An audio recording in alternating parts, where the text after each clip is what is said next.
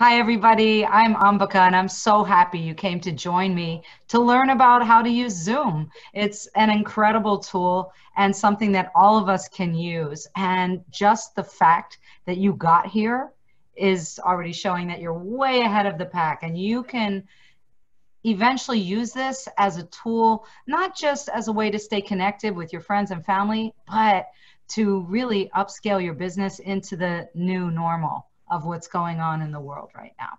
So thanks for being here. Everybody's got their mic unmuted. So the first thing I want to teach you is just about your screen. So uh, the way that I get my groups and organizations to communicate on Zoom is by giving me a thumbs up if they understand what I'm talking about or something like this, or if you want to do a thumbs down of like, no, I didn't get that, or Paula, you're being fancy. Um, Paula's using a thumbs up on her screen. So uh, just by a show of hands, how many people are on some form of computer that are here with me live? On a computer, not, and then who's on a phone no oh you're on a phone okay so phone is going to be different and i won't be teaching all the phone commands uh, tonight, but just know the first thing that I want everybody to understand about Zoom is that anything you want to learn about Zoom, you can ask Google. Just type in a sentence and put the word Zoom, and you will get a video that Zoom made.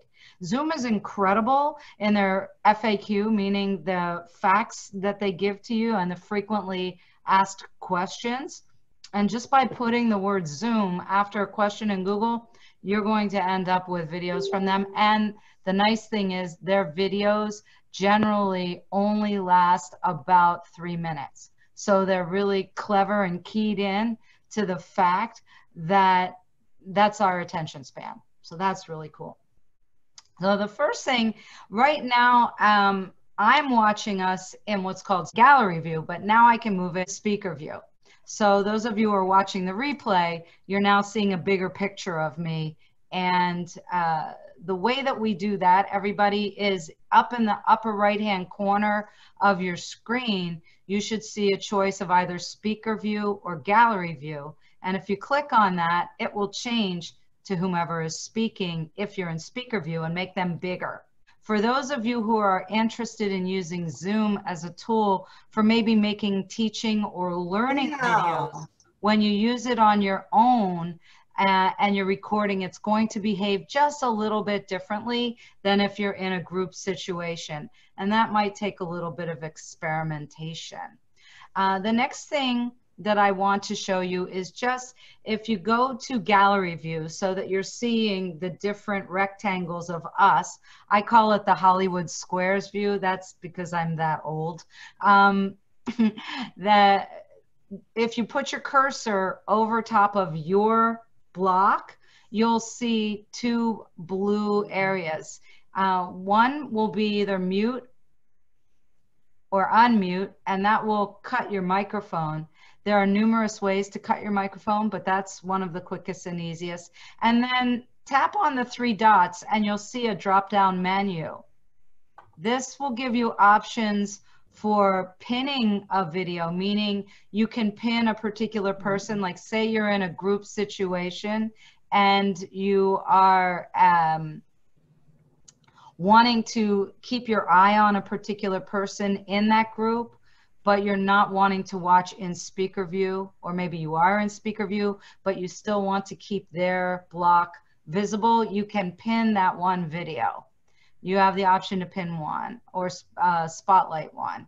Um, if you are wanting to record, which I'm the one recording tonight, but say you wanted to record, you could request to the host, whoever started the, the Zoom session, to record.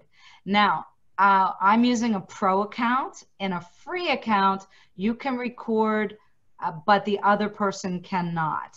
But in a pro account, if I start it from my pro account and you have a free account, I can give you permission and we can both record. This is really nice for clients. And if for some reason you want to use the video for something and the other people want to use it for something else. Um, I'll stop every once in a while to ask you if you have any questions. Uh, But at this point, does anybody have a question about anything I've covered so far? It's all making sense? All right, excellent. Um, so then uh, down at the bottom of your screen is a toolbar. If it's not showing up, take your cursor and move it to the bottom of your screen.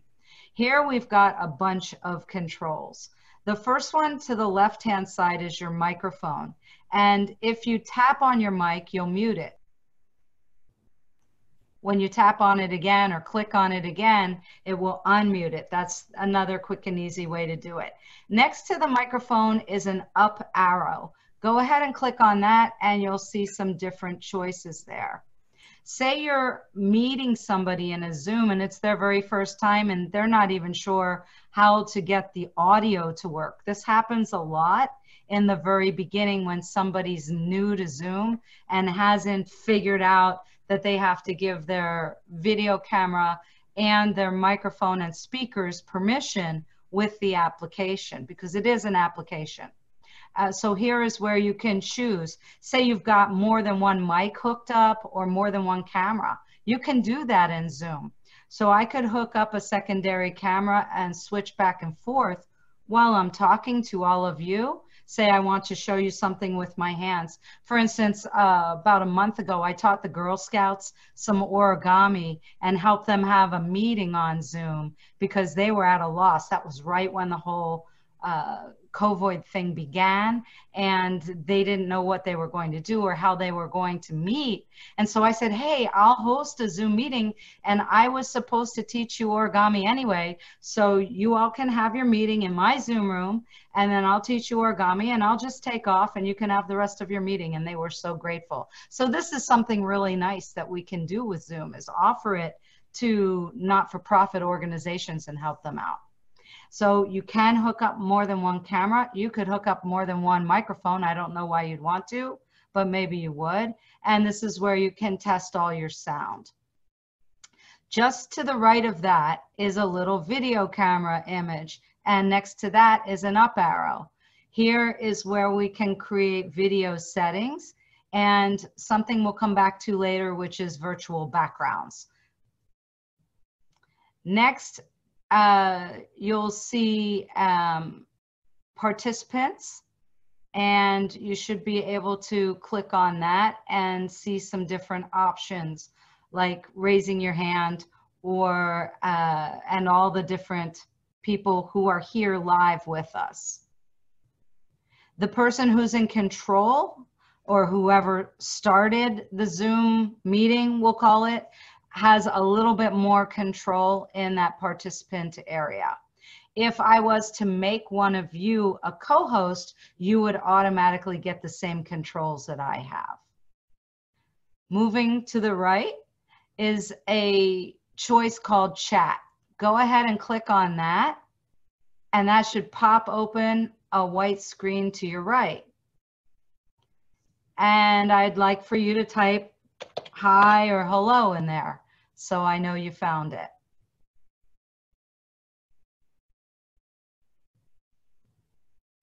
Excellent. Wonderful. You all are becoming Jedi very quick. I'm proud of you. All right, now, when you're in a Zoom meeting with a bunch of people, and I actually go to a Zoom meeting that has over 3,000 people in it. Can you imagine? It's intense. And that's pages and pages of people. Uh, I might want to send a private message to somebody. So what I'd like you to do is in that chat window where it says everyone, click on the arrow and find find me in the list. Find Ambika in the list and send me a secret private message.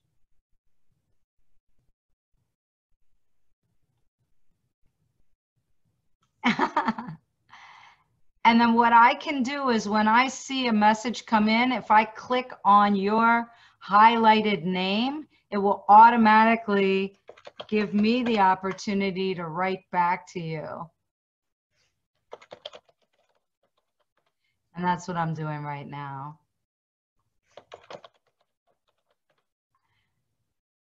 You, you all are definitely becoming Jedi fast. I'm gonna have to get you lightsabers. All right, Doug is definitely using a cyber background. We'll get to that. That's something that people always want to learn from me.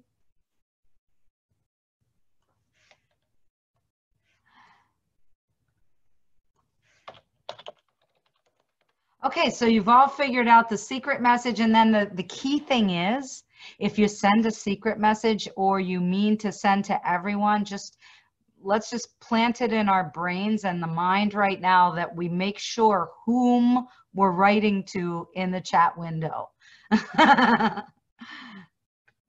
if you want to be safe, use another chat app on the side. to pass notes to your friends. I don't know about you, but when I was in junior high, I loved passing notes, and this is the equivalent of it. It, it makes it really, really good. Now, if you're running a webinar or something, that gives you even different controls, and then you can actually have people raise their hands or have a separate person take all the questions and feed them to the hosts. So that's that's a whole different way to go. Um, and uh, any questions at this point? You can, you're more than welcome. Go ahead and unmute your own mic, Paula, and ask me your question. Okay, um, I'm actually out of order, but the participants, you said under participants, there's a place where we could raise our hand, did you say? Uh, it, there could be. Okay, but I, it. it's it's not. Oh, now I do. Now I do. I didn't see it before. Okay, okay. Okay, now I see it. Okay. Okay, that and uh, that could or maybe not be there, but um, it's it's above the chat. It's above, above the, the, chat, chat not participants. It depends on how the chat is popping out. Okay. And uh, how you're doing it because um, the the chat can. Uh, it, it also matters sometimes with what view you are in. Yeah. So. Okay. Uh, uh, and that that can be disabled or enabled. Um, then, uh, if you were recording, you should see a recording button, but you you can try pressing it, and uh, it won't do anything because I didn't give you permission. And uh, but if you were recording, you also have a pause button, which is kind of nice. Especially, it's nice to have that pause button. Say you use Zoom just all by yourself, and you want to make some kind of video to teach people something or to send a message and maybe you want to pause it to get something on your screen or off your screen if you're screen sharing or switch cameras. It it really saves time for editing later. Because um, when we're making things on video it's really nice to get it in a one take as much as possible. The less editing the better. Editing can be really tedious and consuming. Um, nothing is out of order, everything is fine. Um, over to the right of your recording buttons, you should see an applause button. And if you click it, uh, it will it will bring it up and you should see a thumbs up button.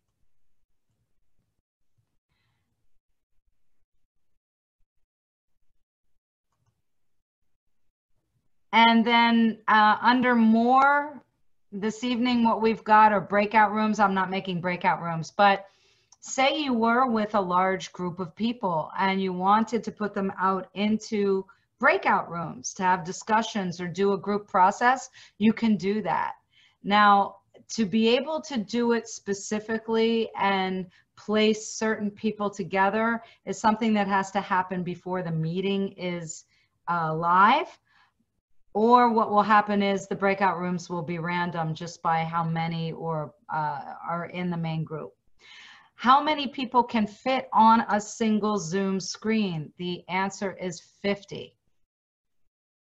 Yeah, so that's pretty cool. In a pro account, which is the first tier up from free account, you can have up to 100 in a meeting that is recordable and goes longer than uh, at 40 minutes. I I don't know if they use the 40 minute. Oh, just so you know, I'm not getting paid by Zoom. I don't have any affiliation with them other than using their tool. It's just something because I've been leading so many Zoom meetings, people have asked me to do this. Um, uh, now you pretty much are, are a Jedi warrior here with Zoom. Uh, if you want to get rid of the chat window, just click on chat again.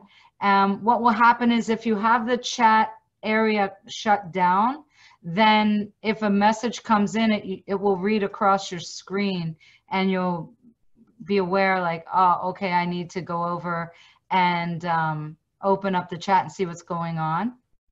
Uh, like, uh, and if anybody needs to leave early that's more than that's fine. And uh, i just appreciate you being here. But at this point i'd like to uh, ask you if you have any more questions before. i do. yeah yeah sure.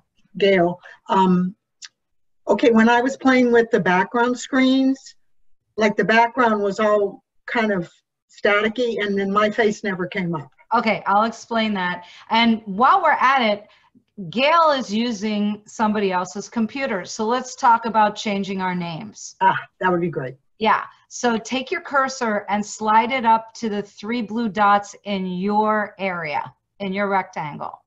Click on that, and then the third choice down should be rename. So I'm just going to rename myself Ambika. So go ahead and rename yourself. And this will not affect the long term of the Zoom account. So the fact that Gail is using Doug's computer, it will only change it for this meeting. The next time Doug logs in, it will revert back to Doug Myers. So if you want to change your name for a particular meeting, don't worry about it. You have that option when you're logging into Zoom if you're using the app whether it's on a computer or on your phone. When you first log in, it will have the name that you have set up with your account. But then if you want to change it for some reason, for instance, I'm an astrologer. So sometimes I go to meetings and I write Ambika astrologer. And sometimes I go to meetings and I'm talking about holistic health or meditation. So uh, probably for that I'd put Jedi. Um, but uh, you know, you could put a title, you could put your name. Just know that at a certain point, there's not enough space for it to read on the screen. Excellent, Gail. So proud of you. I know. You're yeah. So let's talk about virtual backgrounds since Gail wanted to learn about that. Now, some uh, equipment, some hardware won't allow you to do it. So I apologize up front for this.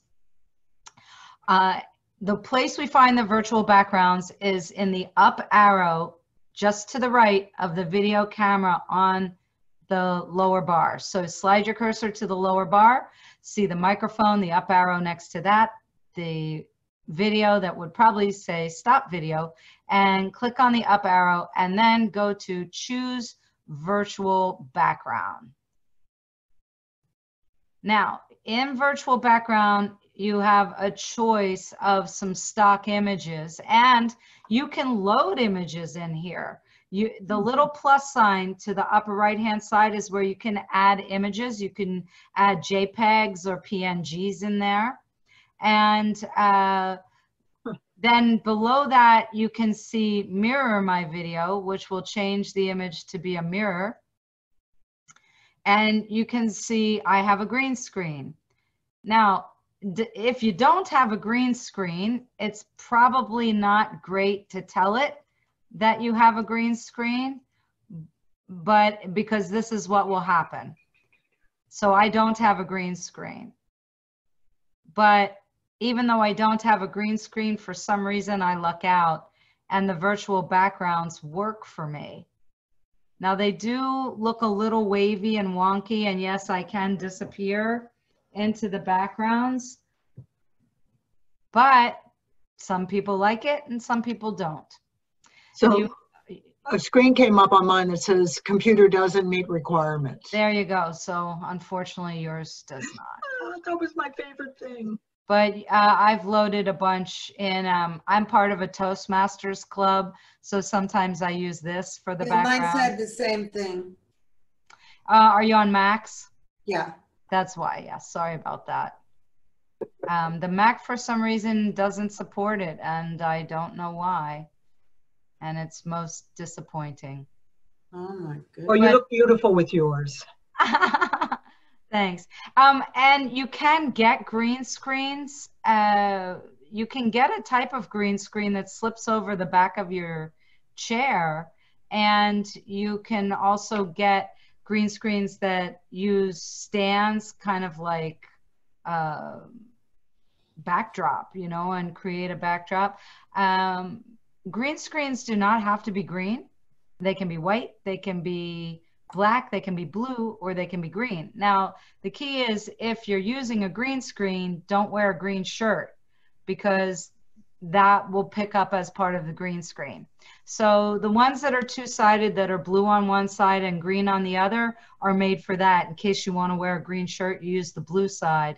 If you want to wear more blue, you Look wear you you use the green great. side. Oh, Um, that looks cool. I think why mine works is because I have a lot of backlighting that comes from the uh, the sliders behind me. Can see the sliders. Uh, in the daytime, I can sometimes get away with saying I have a green screen because the light's so intense behind me that part of the room picks up the virtual background and I stay clear like I am here. More questions, please. Is it better to be backlit?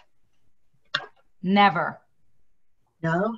never, ever, ever. So, better. um, back, yes, but I have light beaming in from above in front of me. Ah, Yeah. So it's really important, especially if you're speaking to a client or addressing a group, that you have light coming from in front of you. If you have some backlight, it's okay. Um, let me just grab a little loop light. This is a little loop light, and it's it actually opens up like this, and it's rechargeable, and it has three settings. So if I place it here, it gives even more light than I need because I have a setup light wise where I am that I it's built into the ceiling. I just have the right kind of LED light coming from there. But this is a really handy tool. Say if you're in another location or it's really dark and you want to throw some light on your face, and it's very inexpensive. There's different kinds that can clip. This one I use with my cell phone all the time, and I I love it. It's an excellent excellent tool. So uh, yes, Paula, go ahead and unmute yourself. Excellent. So does that clips? I could see that clipping to the top of my laptop. It would clip Mhm. to anything, I guess.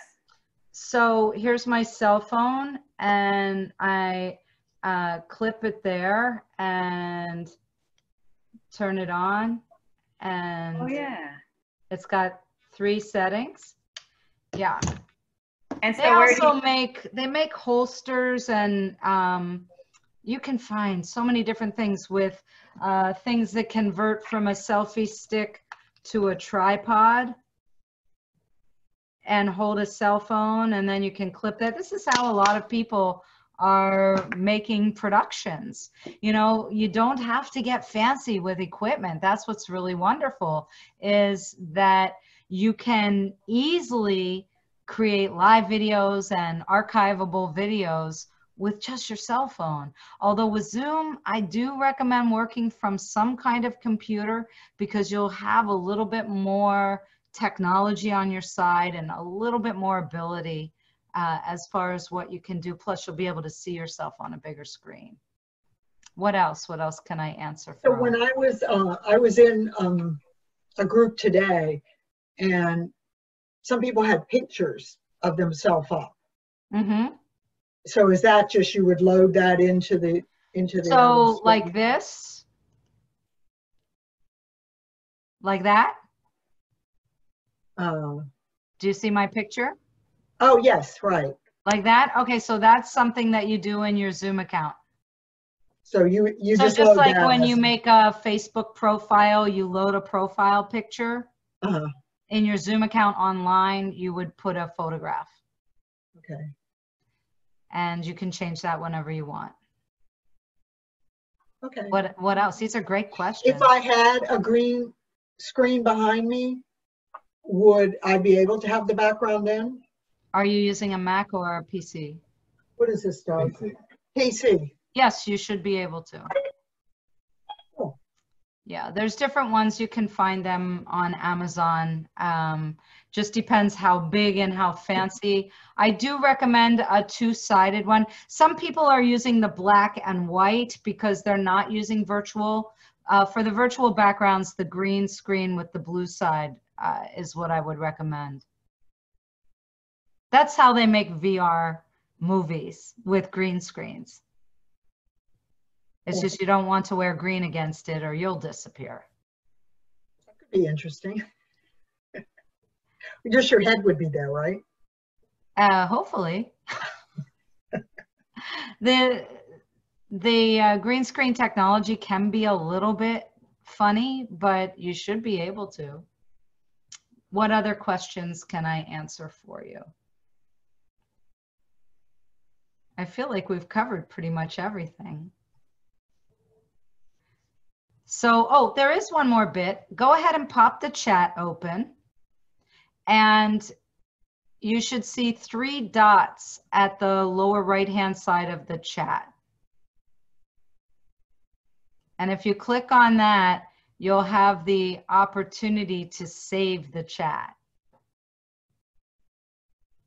So say you're in a, a group situation where there are lots of bits of information being shared in the chat and you don't have time to copy and paste or read the whole thing, you can uh, tell the Zoom chat, the Zoom meeting through those three dots at the lower right hand side that you would like to save the chat. And after the meeting it will download into your computer in the same kind of text uh, that a notepad note would be in.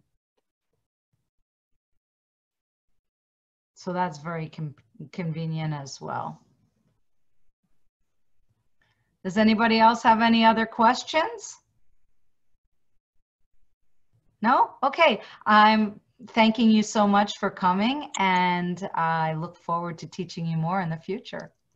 Thank you, Ambika. Other questions? No? Okay. I'm thanking you so much for coming and I look forward to teaching you more in the future. Thank you, Ambika.